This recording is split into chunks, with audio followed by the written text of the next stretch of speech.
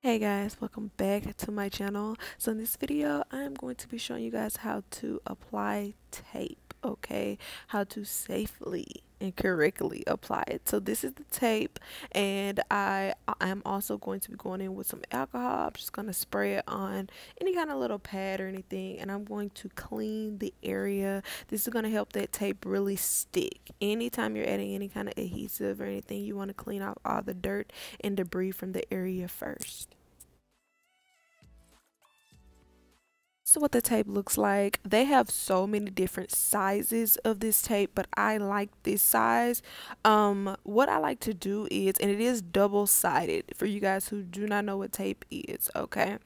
So I like to cut them in half. Yes, I could buy the small tape, but I just think that this tape lasts a lot longer. Sometimes I use the full strips, but for the most part, I love to cut them in half because everything just lasts longer. And since I don't really plan on wearing these for a super long time, cutting this in half just works because at the end of the day, I'm going to take them off. All right. I like to lay it right in front of my hairline. Alright guys, so what you want to do is try not to have too much of any spaces in between that tape. Alright, as you can see I have very small spaces, but try to lay the tape as close together as you can. After you finish laying it, you just go in with some tweezers. I'd recommend tweezers, it makes everything so much easier. And you're just going to peel off that top layer, okay? And that is pretty much it for this step. Alright guys, so let's get into the bread and the butter. I did not cut the lace off yet because this method of cutting your lace is pretty good just because you you get like a really good precise cut and you're making sure that everything matches your actual hairline. So if you guys could cut your lace off with your wig on, I would definitely recommend it. It just makes everything lays a little bit more smoothly and I don't know, it just works out a bit better to me. You don't have to worry about cutting the lace wrong because you know once you cut your lace, it's over with. I mean, ain't really no going back from that. So yeah, that's all I'm doing on this step.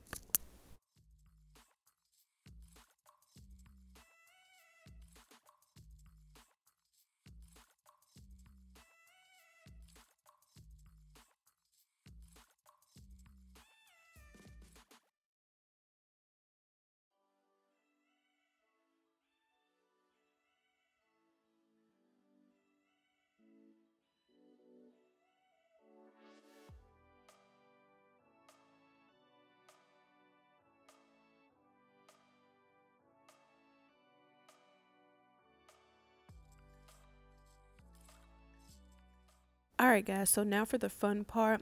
I'm just going in with some scissors. I tried to use this razor, which is pretty good too, but it's so dull it won't cut. But the scissors will do just fine. So, um, basically you're just going like around your hairline and just cutting it the way your hairline shape is. And that is all I'm doing.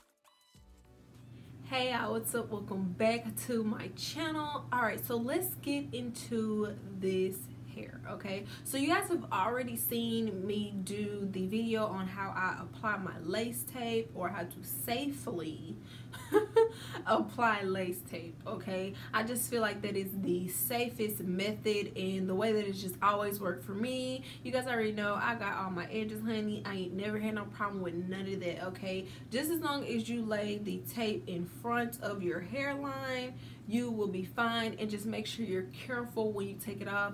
Tape is the less like I would say the least messy method to applying a wig outside of like an elastic band okay? Because we all know you don't need no adhesive for like an elastic band okay? Unless you just I guess want to add adhesive. So anyways yes I hope that that helped you guys out. The type of tape that I use is called Walker's lace tape. I get it from my local beauty supply store but you can find it on Amazon and eBay okay?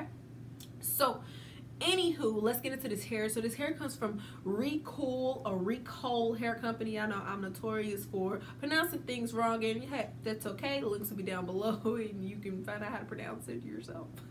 so I do have, um, I well, I did receive three bundles in a ear to ear frontal. I did not bleach my frontal. Um, I only went in and plucked my frontal a little bit because the frontal was already plucked um pretty good actually okay?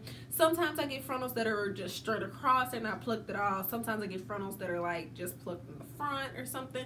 This frontal was plucked you know from ear to ear. So you it already started you with kind of like a pre-pluck. I love frontals like that. It just eases up the work on me. I don't have to do as much. Y'all know i don't like to do a lot. I'm lazy. Hey sorry. So yeah it was the work was already done so all I did was, like I said, I just went in and kind of customized customized it just a little bit to my hairline. Okay, like I didn't do just like a whole lot. I just you know pluck pluck here, pluck pluck there, and then when we're done, I try to lay a few baby hairs. Child, of course, that is optional.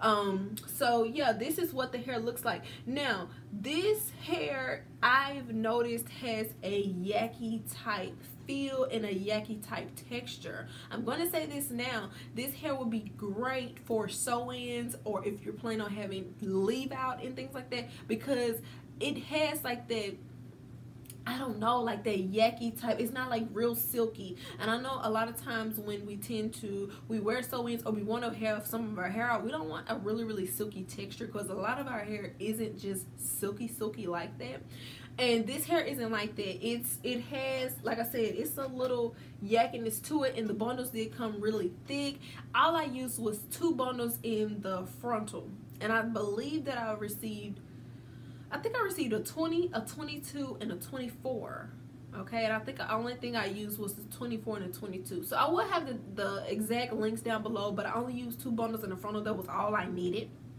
because the bundles were really thick all right? So this is what we are looking like. I am five seven and well this y'all can't see but it the these bundles fall past my boobs or whatever. And like i say i'm five seven so that's pretty long. So if you like long hair this will definitely will definitely be the hair for you. So that is what it is looking like. None of y'all like Erin, you should never you try to curl your hair or whatever, those little poor curls. No, actually I had this hair just popping, okay? I had curls all through it. It was tight curls. The curls actually fell. So what you want to do is if you're going to curl this hair because it's not, at this point, it's not good at holding curls, you need to go in with some kind of holding spray, some kind of spritz, some kind of got to be you need to go in with something. So you need to go in with something, all right, if you plan on curling this hair. Some. some that's gonna hold it or curl your whole head and then go in with some kind of holding spray to just make sure the uh, curls stay intact because mine definitely fail all right? So um, i'm left with like little loose waves which are okay too. I enjoy loose waves but it's not exactly the look that i was going for. So yeah keep that in mind. Another thing if y'all can kind of see i'm receiving some frizz all right which that ain't real cool. So you want to make sure that if you get this hair you give it a good good deep condition all right? So give it a good deep condition and get you some kind of frizz ease or some kind of serum that will kind of subside that frizz a little bit all right? So you won't be walking around looking like you know you can be in some kind of storm or something. It is raining outside but still this is this is a little bit much frizz all right?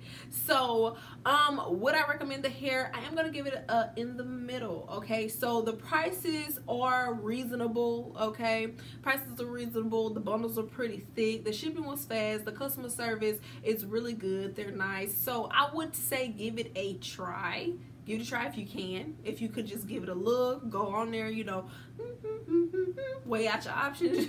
You know this these are just my opinions and my experience. Not to say that you're gonna have the same experience or the same you know just if, if things are gonna be the same. You know what i'm saying? So you know take my opinion with a grain of salt. I tell you guys that in every single video we're two different people. We don't care for hair the same.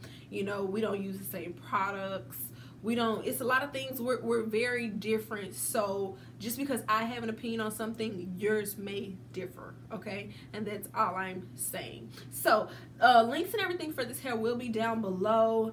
Um let me know what you guys think about about it. Also do you guys use tape? Why or why not? Have you been wanting to try tape? Does tape work with your skin? You know just let me know your thoughts about just tape in general. Have you tried this hair? Will you be trying this hair? What do you think about this hair? And yeah leave it down below. Oh yeah and i do have body wave. This did come in a body wave texture. I don't think i mentioned that or whatever but this did come in a body wave texture. So anyways that's it y'all. And i'll see you next one